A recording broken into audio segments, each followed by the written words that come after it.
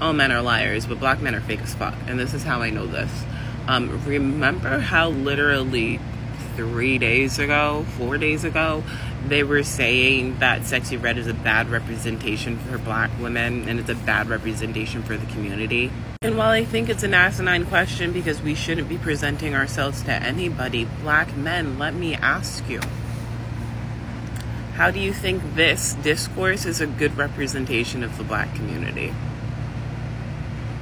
I, I it's a serious question.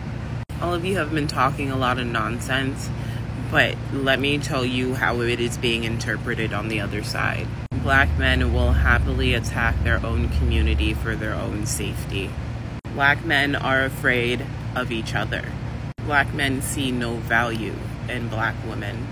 Black women are free game. That is what they're hearing. So while y'all continue to have this discourse and try to explain why someone should get hit in the face with a brick, I don't understand how that sentence isn't just, you know, but okay, that's fine. You guys can keep doing that. That is quite alright. Black women are not going to be defending you anymore because we need to protect each other now. We, we, we know that we are up against literally the world. So, yeah, good luck. I, I wish you the best.